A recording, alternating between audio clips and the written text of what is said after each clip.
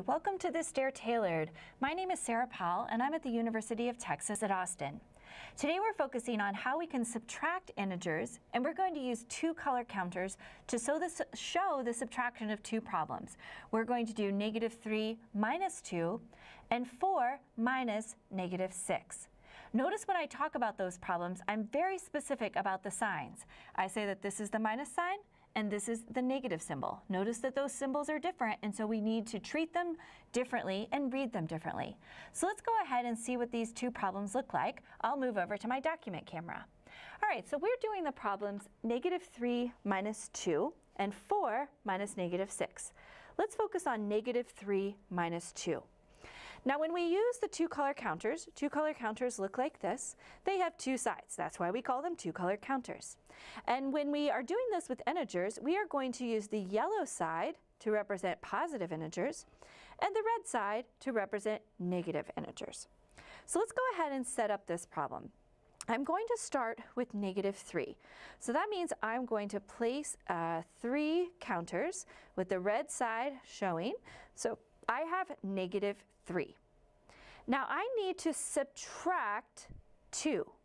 The important thing to do here is to interpret this 2. This 2 is a positive 2 because there's not a negative symbol directly in front of it. So I have to subtract positive 2. I guess the question is, right now, do I have positive 2 to subtract? No, I don't. So we use the concept of zero pairs. If I bring in a negative and a positive, it doesn't change the value of all of the, the numbers that I'm working with right here. So now I've got, I have one, uh, one positive, but I still don't have two. So I'm going to bring in another uh, zero pair.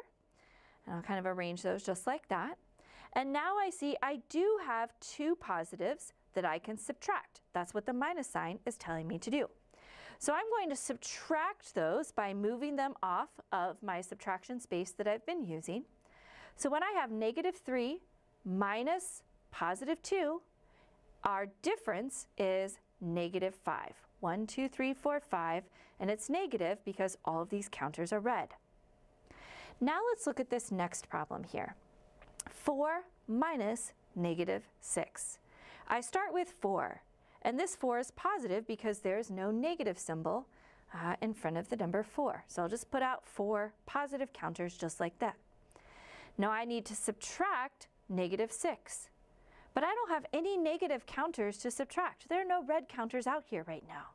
So we will use zero pairs to get to the point where we have negative 6 to subtract.